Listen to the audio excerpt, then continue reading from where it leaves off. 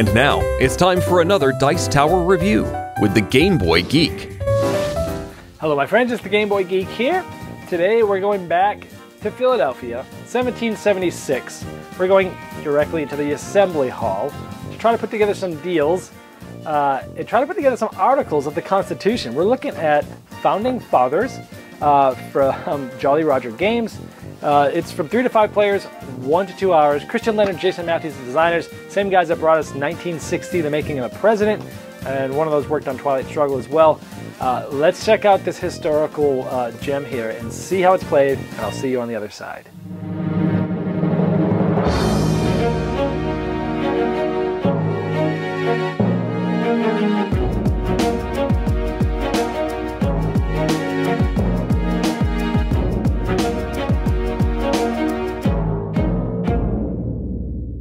At the beginning of Founding Fathers, you get to be one of the major delegates that had to do with the Constitution. Now, uh, you get the uh, player aid and three of the pieces to start with for that uh, for that delegate. And you know, it could be James Mad Madison or Roger Sherman, William Paterson, Charles Pinckney, Alexander Hamilton. Now, you can only be certain ones of these, depending on how many players there are, has a lot of historical text about what this person did. It also shows you how many, uh, from the states that have delegates, how many delegates they have, and from what sort of political party or faction they are. And the player aid also gives you some rules and, and things on the back there, and that's pretty much before you get started. You're also given the actual card of the person that you are. So this is uh, James Madison. And through a drafting process, you'll end up with two more cards from different states and factions depending on how you draft. One thing I wanted to point out is that more than half of the rulebook actually is historical content to what happened, you know, of what this game is all about, which is really cool. You can learn a lot about the history, you can learn a lot about the states and the delegates, and it's really a cool thing uh, to be able to dive in deep into the theme and into the historical contents of this. Uh, even cooler uh, is in the rule book, it actually shows you the the diagram of the, the, the hall that they laid out in and that they did all this uh, negotiating in. Actually has a picture photo of the assembly room with the green tables here, um, and it shows you what it originally was like. And when you use, look at that and you zoom back out, they really did a good job of trying to make the board portray as much as they possibly could, act exactly how it was back then with the green tables in the assembly room and the committee room. And this is going up to the to the cracked bell, which at the time wasn't yet called uh, the Liberty Bell, but this is where it was. And just did a really good job of thematically making the board be like history. There's four different things you can do on your turn, uh, and the first thing that you can do on your turn is vote. So let's talk about the assembly room and voting on an article. Another cool thing is if you look at the articles and you read them really closely, the House of Representatives shall be composed of members every second year by the people of several states. And this is uh, sort of the article uh, section 2 clause 4 and on the opposite side is a is a against article it pretty much says something against what this article is for so these articles come out I should show you that there's essentially four different types of political parties or uh, factions, if you want to call them. The easiest way to show you these tokens over here, the big star, just think Texas, big states. Big star, big Texas. Uh, so this is big states. The small stars are small states. These two are always opposed of each other. The two white tokens, big and small states, always opposed of each other.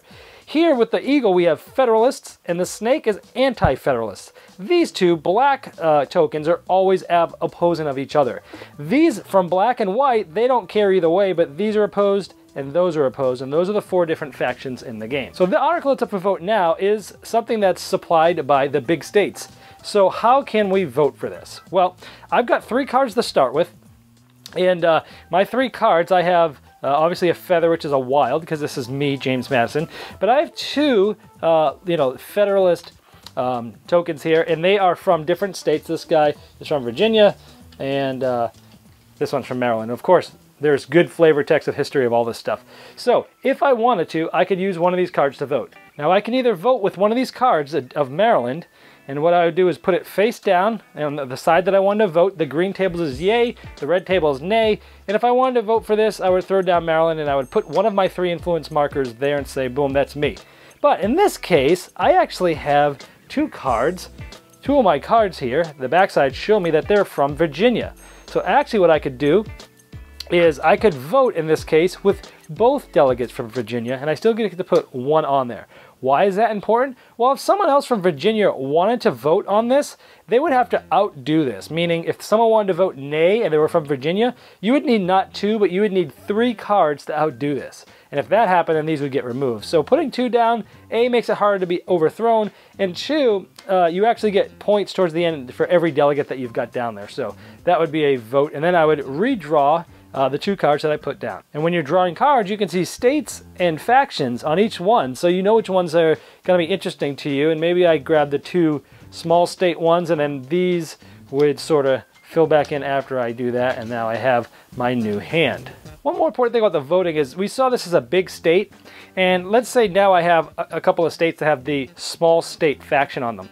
A small state uh, person could never vote for a large state. They would have to vote against.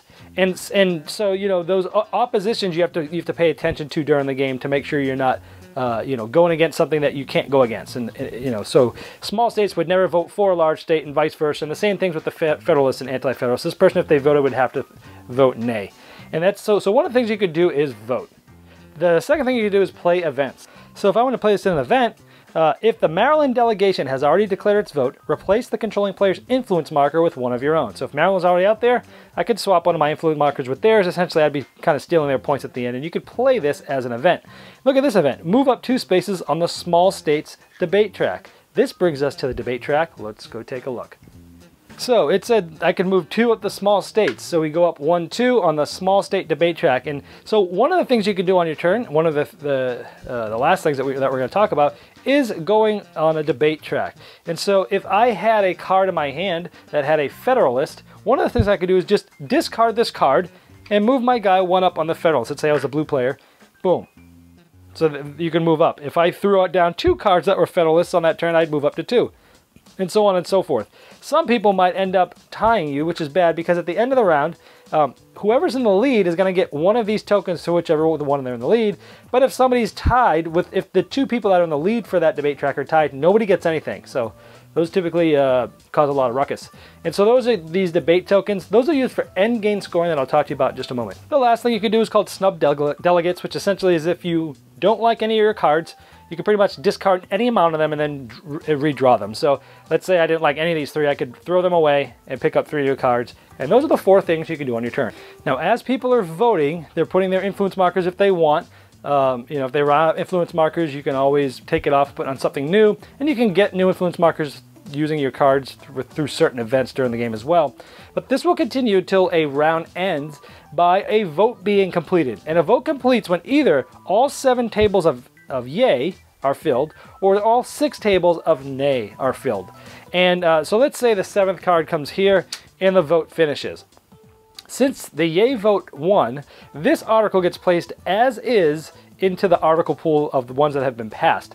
If it was nay, at the end of the round, this will end up getting flipped over to its opposing. Notice the red there shows it, it was it was pretty much opposed, and this would go into the into the delegate into the uh, article pool.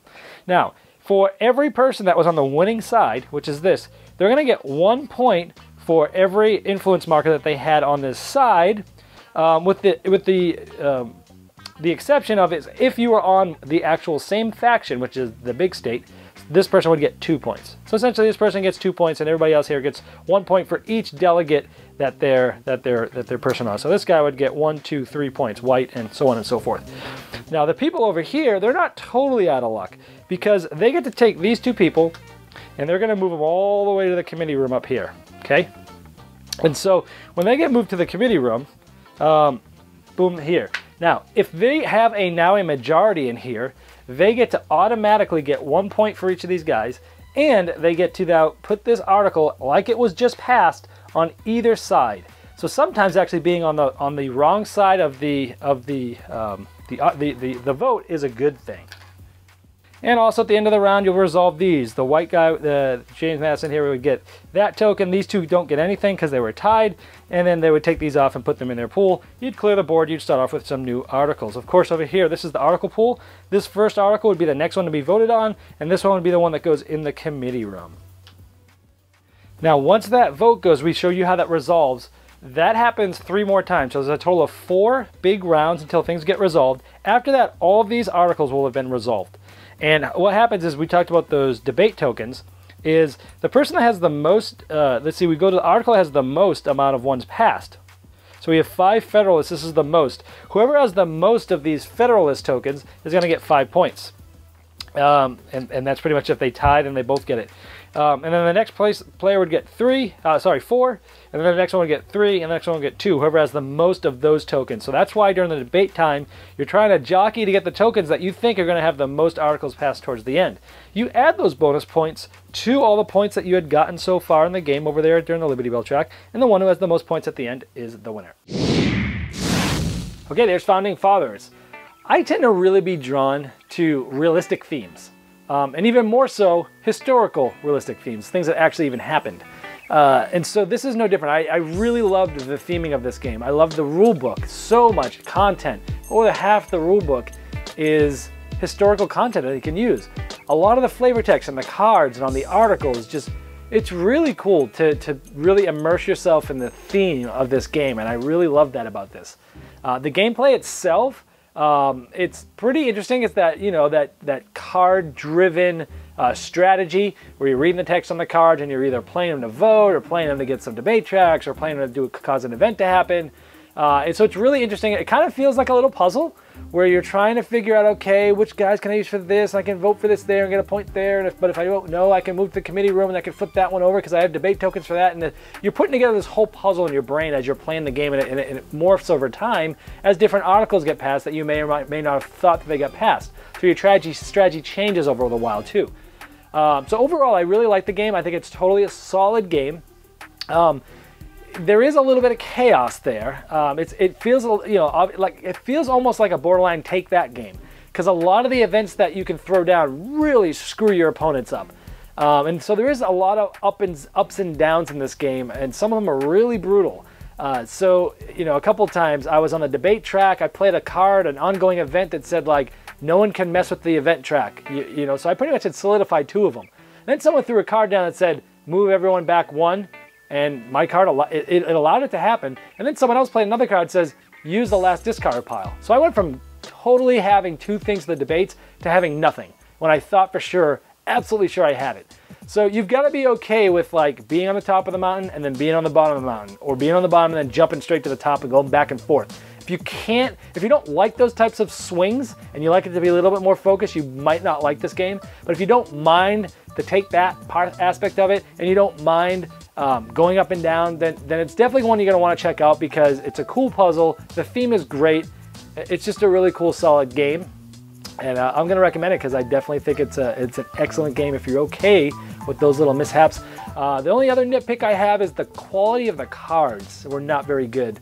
Um, they, they, were kind of, they're really hard, they were stiff, so they were really hard to shuffle, and they nick and knack very easily. So, and as you get to know the games better, you know which ones of those super powerful cards are in which states, and if those things get nicked, uh, man, it's all over. You better sleeve these cards, which I don't like to do.